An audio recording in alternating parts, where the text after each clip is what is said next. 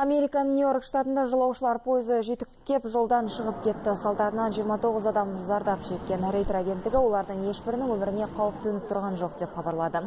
Пойыз апаты Гарден Сити қаласының маңында болған алдын ала болжам бойынша жолаушылар пойызы рельстегі жұмысшы құрамға соқтығысқан.